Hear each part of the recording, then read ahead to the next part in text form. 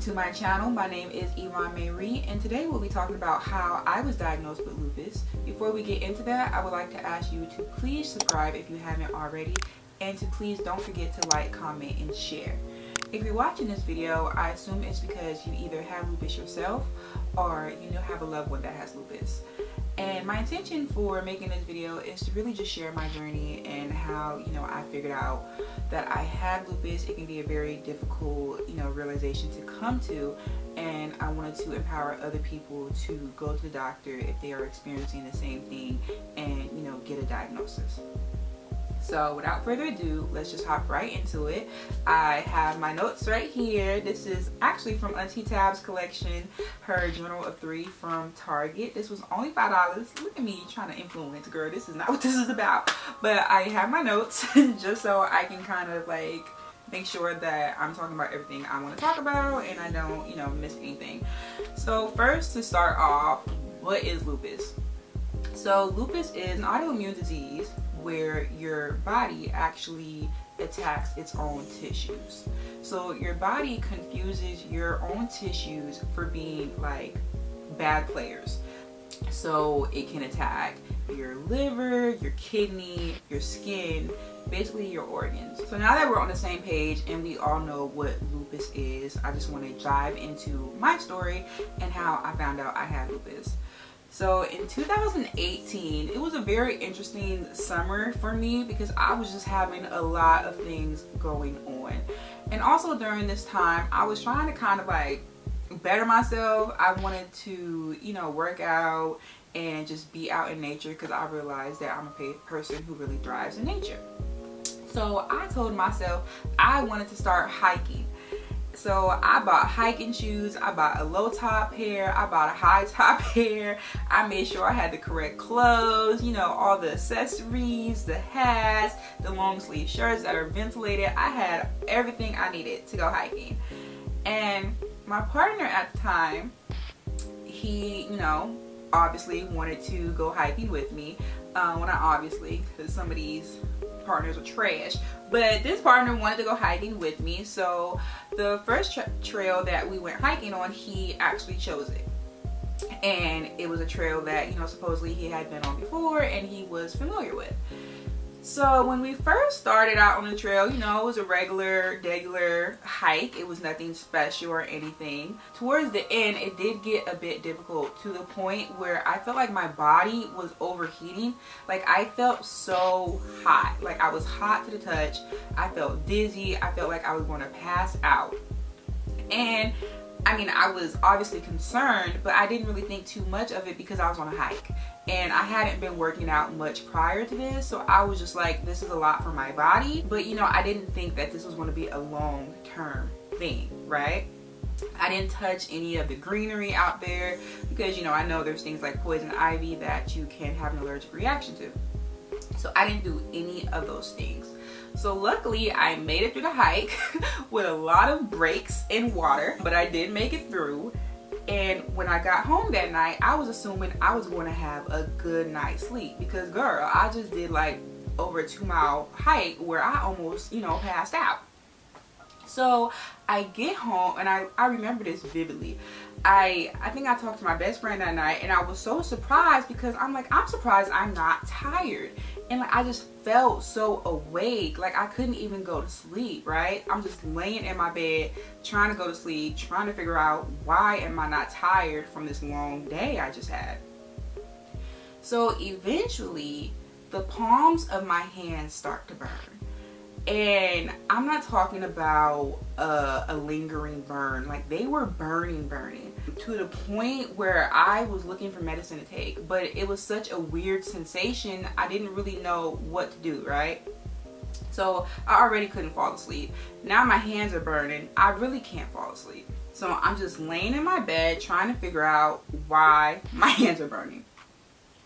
Fast forward a couple hours later and I've developed these hives. I'm going to insert pictures because me explaining it does not do it justice because I don't even think they're hives. They were so big and massive. It was like hives were conjoined, like coming together and making bigger hives.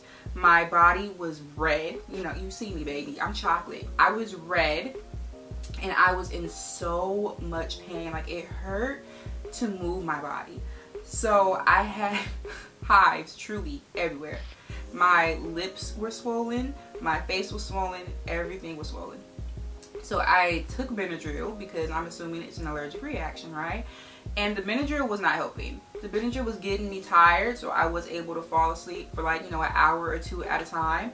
But it was not doing anything for the hives. So the next day, this uh, happened on a weekend. So the next day, I went to the urgent care. And urgent care did some tests to see if, you know, I had come in contact with poison ivy. I did not, but they didn't know, you know, what had caused the hives. They ended up prescribing me some steroids. The steroids definitely helped with the pain, but I was definitely out of commission for maybe three or four days. It was very scary very uncomfortable and nothing I had ever seen my body do, right? So after that, I was kind of scared of hiking because I'm like, what's wrong with me? like, it wasn't like, yeah, it was strenuous, strenuous. It was strenuous, but you know, I don't feel like I should be breaking out in hives over a hike, so I was scared.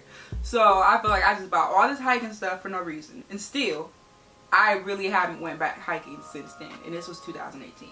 So I'm clearly traumatized. So like I said, that was an interesting summer for me. So after that, I noticed that when I would go out in the sun for long periods of time, and not even really long periods of time, but like any time, maybe over 30 minutes or an hour, I would develop this rash on my face like this raised inflamed rash. And it would kind of hurt too. And this was something I had never experienced before. I do have eczema so I you know I have sensitive skin. But you know typically for my face I'm not getting a rash like in the same place and noticeably after I've been out in the elements. So I'm like what's going on so I start doing my own research and you know I start to see things and, you know, at this point, I'm aware that my grandmother, my maternal grandmother, passed away to lupus. And I see that, you know, people who have lupus tend to present this rash on their face. And I'm like, hmm, that's that's interesting. But you know, I'm like, I don't I'm not gonna put that on me. I don't wanna claim that energy. But let's go to the doctor. And also around this time, I noticed that I'm really tired. Like there's days where I'm so tired, I cannot get out of my bed. And I am so weak sometimes that I'm literally walking around like I need help walking. Like I'm walking so slow and I need support standing up or it looks like I'm going to fall over. Right? And this is not from doing a lot of activity. It's literally like I just wake up one day and feel that way or I wake up and then towards the middle of the day, it's like, baby, I'm done. I need to go lay down. So again, a very weird summer. But I went to the doctor mainly because of this rash on my face. A little, a little superficial, but um, I'm gonna be honest with y'all. At the time, I had Medi-Cal, and you know, I feel like any insurance is better than no insurance.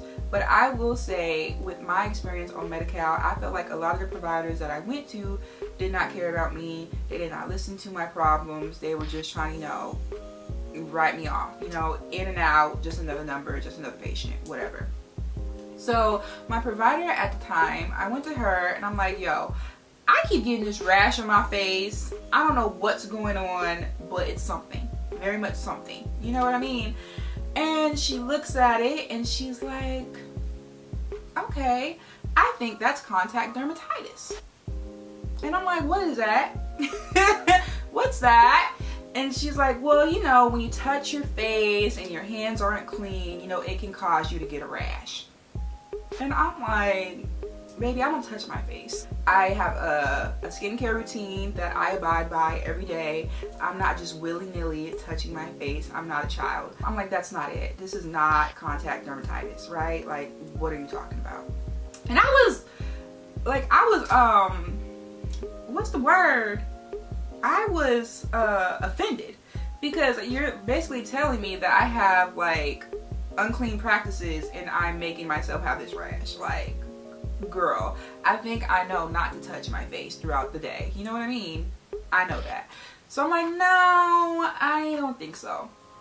So she calls in this other provider to kind of get like a second opinion and this woman looks at it and she's like, I don't think that's contact dermatitis. And I'm like, mm-hmm, me neither. And she was like, I think you should order, you know, some blood tests. And she, you know, tells her what blood test she should order or whatever. And I'm like, all right, we're getting somewhere. We're getting somewhere, okay? So tests were ordered. I went and got my blood done. I'm waiting on the results. I'm waiting, waiting, waiting, waiting. I think I waited at least two weeks, possibly three for my results, right? And then finally I get this call, not from my provider, but I believe from a nurse in the, the office. And she's like, so we got your results back. Uh, don't freak out, but you are ANA positive. That could possibly mean that you have lupus. And I said, huh? Since I can't say anything else, I can't answer any of your questions, try to call and make an appointment with your provider and she'll be able to help you out, whatever. Freaking out, okay? because I'm like, the thing that I thought it was, in the back of my head, it, it, sounds like that's what it is, okay? I'm getting confirmation that it's kind of what I thought it was. So I'm just like, okay. So I'm trying to get an appointment with my provider. No luck, right? No luck. She's out of office. She's on vacation. I probably had to wait a month to go in to see my provider. So I'm literally just have this information and I'm just freaking out, right? Because I find out that I may have this disorder. I don't know how long I've had this disorder. I don't know what it's already done to my body. Like, and I've been a sickly person. I hate to say sickly, but I am prone to getting sick.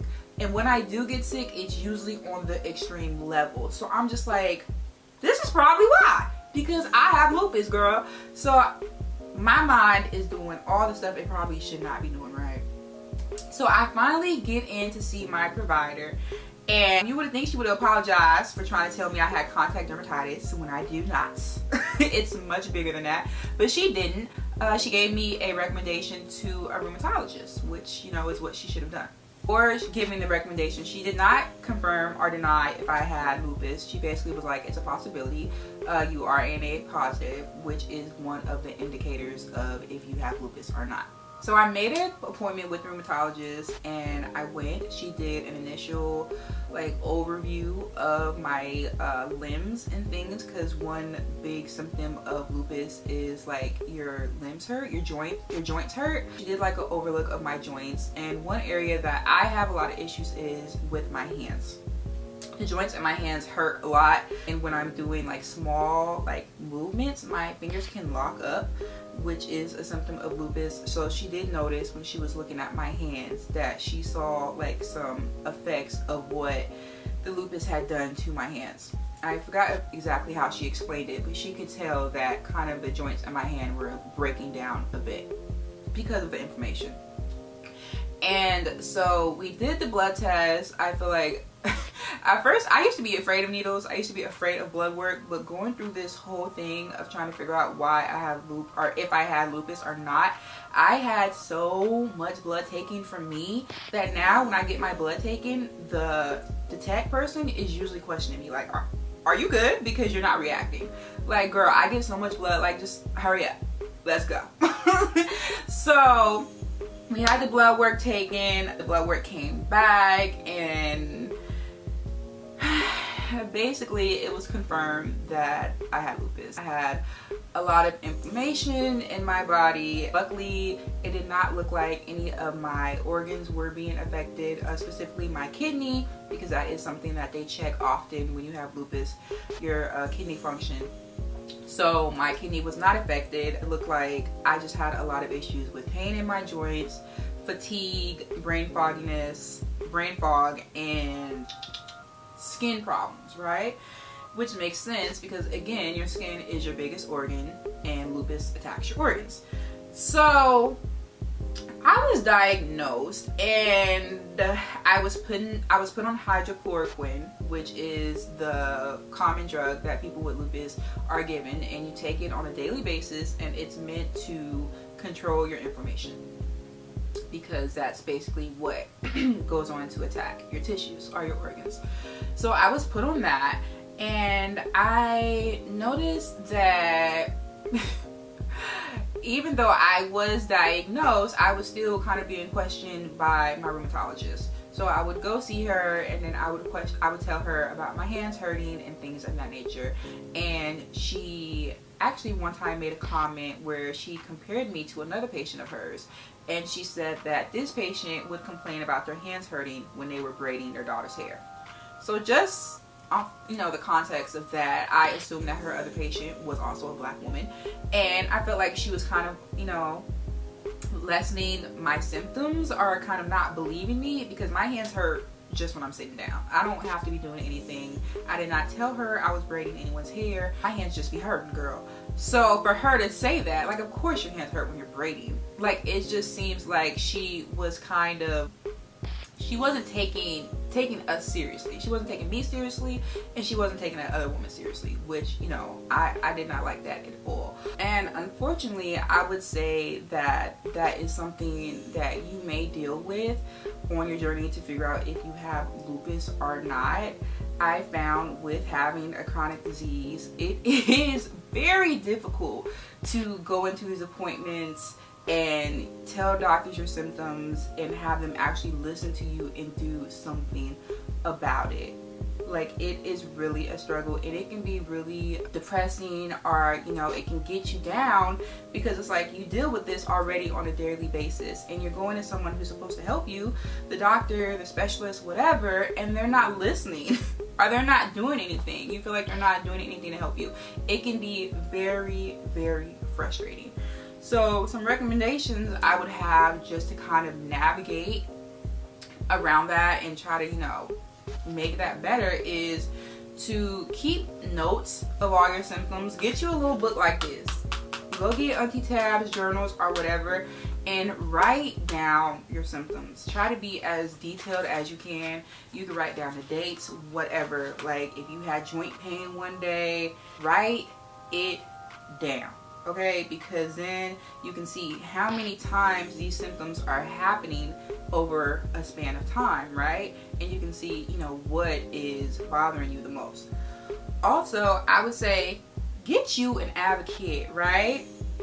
Get you someone who can i know during covid it may be a little difficult but get you someone who can go to your doctor's appointments with you because I find, especially maybe if it's an older person, and I, or I hate to say it, I hate to say it, a man.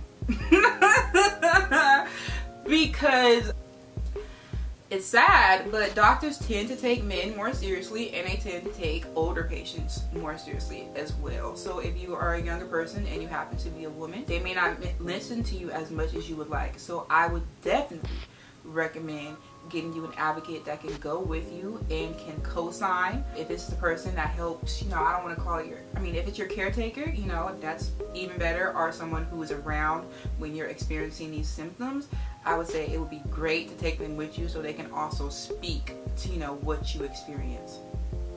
And also they can tell you if you're tripping or not when you feel like the doctor is not listening to you okay? And lastly i would say I definitely recommend for you to get a second opinion. Even if you're already you're told the first doctor you go to tells you you have lupus, I would say still go get a second opinion from somewhere else. Um, there are a lot of autoimmune diseases or disorders. Lupus is not the only one. Um, and they also have like overlapping symptoms. If you feel like one doctor is not working for you or is not conducive to what you're looking for, you know, it's nothing wrong with going to find another one truly truly. And i think it's just better to get a second opinion because everyone doesn't have the same knowledge right? I've been to many different doctors with the same ailment and you know usually they all tell me different things. So i think it's actually beneficial especially when you have a chronic disease to go get a second opinion and just make sure you have all the knowledge you can. And one more tip research. Research research research doctors may get on your nerves when you go in there like, oh, I saw this online. I don't care. just know, have a bit of knowledge about the common words that the doctors will use. So information, ANA, and then, you know, have a better, like an idea of your organs and, you know, pay attention to where you have pain at, right? That's definitely the things I would recommend. I know it can be a difficult journey. It was definitely difficult for me in my first couple of years. I truly, honestly was devastated devastated because in 2018 I was, you know, pretty young. I mean, I'm still young, but I was even younger. So I just thought I had an end date on my life, which is not the case at all. You can still keep living. Can still keep going out in the sun. Just get your sunscreen, 45 SPF up and higher, okay? Get your cute little hats. You can still enjoy life. Do not think that this is the end for you. And if you have a loved one that has lupus, be understanding. Lupus is very all over the place. It's not dependable, it's not predictable. So, you know, I can make plans one day and the next day, girl, I'm not gonna be able to make it because my body is just not in the right space to go. So just just be empathetic to those, you know, with lupus and also, if you have lupus, be empathetic to yourself. Don't beat yourself up, girl. If you can't do something one day, you'll be able to do it, you know, one day. All right? Don't be too hard on yourself. That's it for today. If you would like another video concerning lupus, do let me know in the comments below. If you have lupus, girl, I see you. we fighting together. All right? It can seem like, you know, the fight, we fight it alone sometimes, but you're not it's a lot of us out here, so keep going. If you made it this far, thank you for rocking with me, and I'll see you in the next video. Bye.